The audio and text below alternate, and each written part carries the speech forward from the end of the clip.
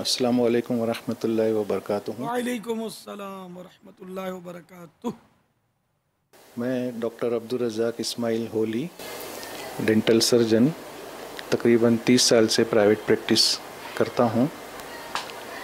मेरा मैं ख़ास करके तो पहले आपको मुबारकबादी देना चाहता हूँ कि आपकी मदनी चैनल को करीब पूरे चार साल हो गए हैं और जो आप लोग खिदमत करते हैं वो सराहना है।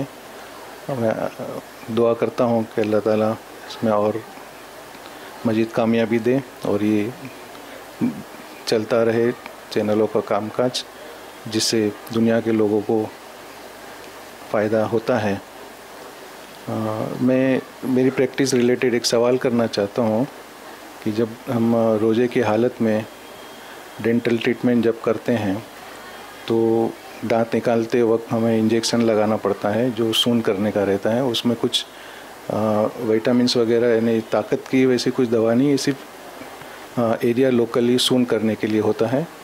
तो वो हम लगा सकते हैं कि नहीं रोज़े की हालत में। इसके अलावा जो सीमेंट और चांदी जो दांतों में भरी जाती है सीमेंट में ख़ास करके एक तरीके का यूजिनॉल यानी लौंग के तेल जैसा रहता है, उसके एक टेस्ट आता है। तो वो कर सकते हैं कि नहीं। बाकी जो सीमेंट है जिसमें टेस्ट नहीं आता है तो वैसी सीमेंट लगाने में कोई हर्ज है कि नहीं। और पेशेंट को मुँह के अंदर पानी वगैरह जब हम लोग करते हैं तो मशीन में एक पानी आता है तो पानी जमा होता है। हालाँकि वो पेशेंट उसी वक्त हम उसको सक्शन लगाते हैं पानी वो खींचते रहता है।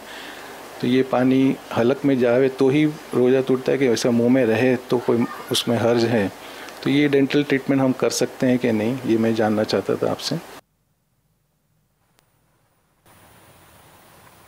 इंजेक्शन लगाने में तो हरज नहीं है।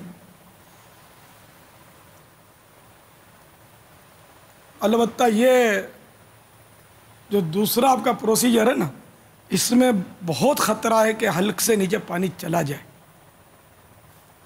तो अगर हल्क से नीचे पानी चला गया या सीमेंट वगैरह जो आप भर, भरते हैं इसमें, उनमें से कोई जुज़ अगर हल्क से नीचे उतर गया तो अब रोज़ा फासिद हो जाएगा।